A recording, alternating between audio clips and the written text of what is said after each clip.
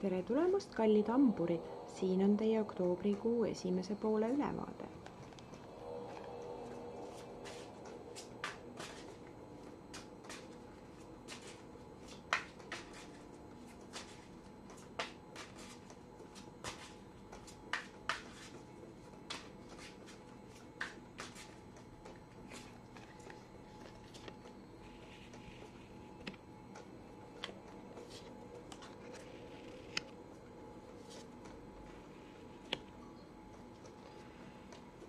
No nii, suletud uksed ja, ja ähm, nii-öelda lahendamata olukorrad on siin. hamburitel on see kuu äh, kuidas ma nüüd ütlen, maavärina ohus ehk siis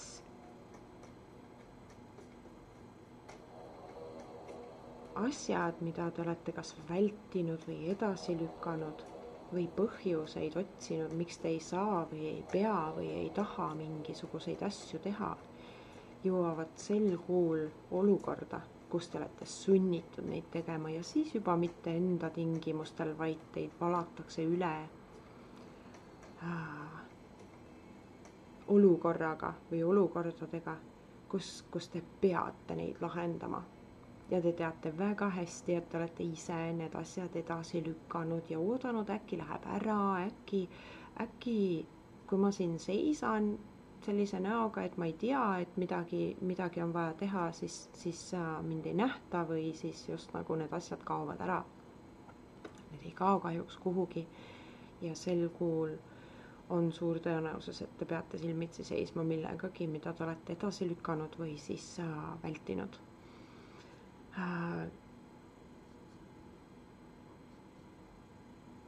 ütleme nii, et lõppkokkuvõttes on see parem õudne lõpp kui lõputu õudus, aga teil on nüüd teada, et need asjad, mida te olete edasi lükanud, mõelge, mis asi see on, mis, mille kohta on teil tunne, et ma just nagu peaks seda tegema, aga, aga, aga ehk siis hakake tegelema sellega. sellisel juhul te lahendate selle omadel tingimustel ja need asjad ei kuku teile kaela nii, et te peate sellega tegelema, et te olete põlvili maas. Te jõuate samasse punkti välja lõpuks ikkagi. aga suur vahe on, kas te lähete sinna püsti ise kõndides oma valitud rada pidi oma valitud tingimustel või te lähete sinna põlvile kellegi teise näidatud või, või nii-öelda suunatud äh, teed pidi. ja kohale jõuate te nii ehk nii, tegelema peate te sellega nii ehk nii. Ja praegu on see koht nagu päriselt ka. Ähm,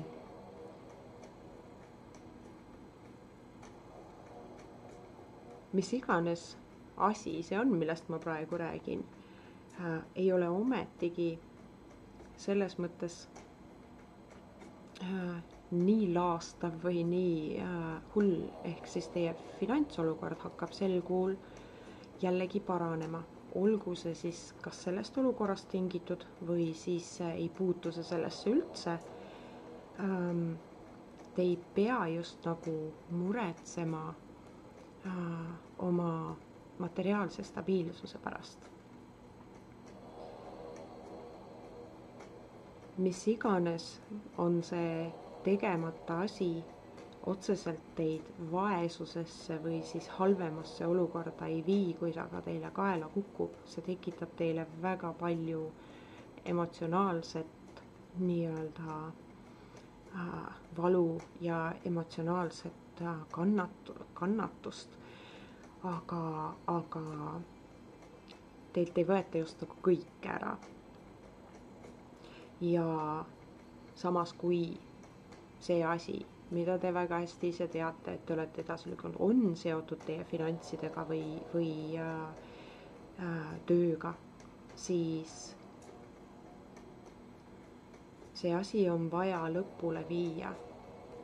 vastasel juhul kannatab ka teie nii-öelda senine tagala või see, et te just nagu tunnete, et teil on mingisugune maa jalgade all. see ei pruugi pärast seda enam nii olla. ja see, et ma ei saa midagi teha või et äh, minu käed on seotud, arvamus või tunne on teil väär arusaam.